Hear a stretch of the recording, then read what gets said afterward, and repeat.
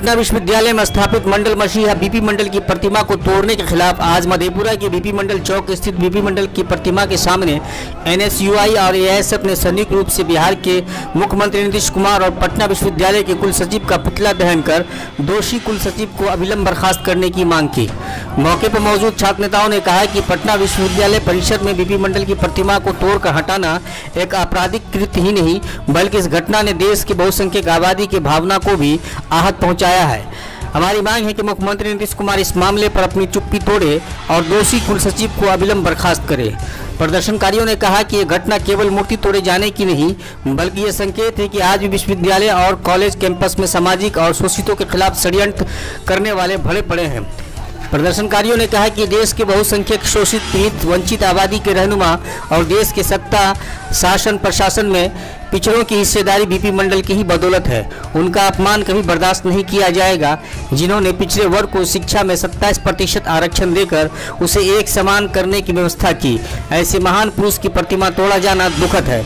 हम इसके खिलाफ सड़क से लेकर सदन तक चरणबद्ध तरीके से संघर्ष करेंगे। मधेपुरा से अमित कुमार अंशु की रिपोर्ट। हम लोगों ने बिहार के मुख्यमंत्री और पटना विश्वविद्यालय के कुल सचिव का पुतला दहन किया। यह मामला सत्ताईस का, सत्ताईस अगस्त का है, जब मंडल मसीहा और बिहार के पूर्व मुख्यमंत्री स्वर्गीय बीपी मंडल जी के प्रतिमा को विश्वविद्यालय प्रशासन ने पटना विश्वविद्यालय से उखाड़ करके कचरा के डिब्बा में फेंकने का काम किया है। उसके विरोध में आज हम लोग पुतला दहन कर रहे हैं और बिहार के मुख्यमंत्री से नीतीश कुमार से यह मांग कर रहे हैं कि वह विश्वविद्यालय प्रशासन पर कार्रवाई करे और विश्वविद्यालय के कुल सचिव को अविलंब बर्खास्त करे। अन्यथा हम लोग ईट से ईट बजा देंगे नीतीश कुमार। साफ़ संकेत है यह कि नीतीश कुमार सत्ता के लालच में अपना ईमान अपना ज़मीन बेच करके आरएसएस और दंगाइयों के गोद में जाकर के बैठ चुका है। यही कारण है कि जिन्होंने देश के बहुसंख्यक आबादी को ओबीसी को जो वंचित थे शासन से, प्रशासन से, जिसको देश के लोकतांत्रिक व्यवस्था में जिनकी भागीदारी नहीं थी, उन लोगों को लड़ करके मंडल आयोग के ज़रिए सत्ताईस प्रतिशत आरक्षण दिया। ऐसे मंडल मसीहा का अपमान इस देश की जनता, बिहार की जनता कभी बर्दाश्त नहीं करेगी। और हम मनुवादियों को भी सचेत कर देना चाहते हैं कि वो दौर और था, और ये दौर आज का दौर और अलग है। आज पहले विश्वविद्यालय में धूर्त चाल से मनुवादियों ने एकलव्यों को कैंपसों से बाहर रखा था। लेकिन आज मंडल आयोग की सिफारिश के वजह से एकलव्य के वंशज से भरे पड़े हैं विश्वविद्यालय का कैंपस।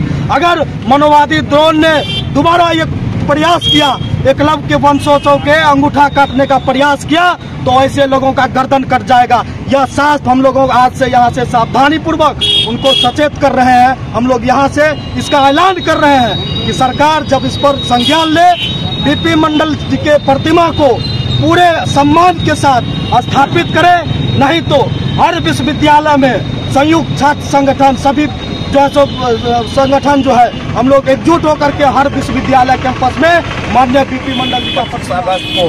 पूरे बिहार ही नहीं, पूरे देश में बीपी मंडल का जयंती मनाया गया है और मनाया जाता है बड़ी शौक से। पटना विश्वविद्यालय के कर्नल रजिस्ट्रार जो है वो और बिहार के मुख्यमंत्री नीतीश कुमार ये आरएसएस के गोद में बैठा हुआ है। निश्चित तौर पर चिंता की बात है पटना यूनिवर्सिटी कर्नल रजिस्ट्रार जिस दिन उसकी जयंती मनाई जाती है उसी दिन उसकी प्रतिमा को तोड़े जाता है। ये निश्चित तौर पर सत्यंत्र है ये राजनीतिक है।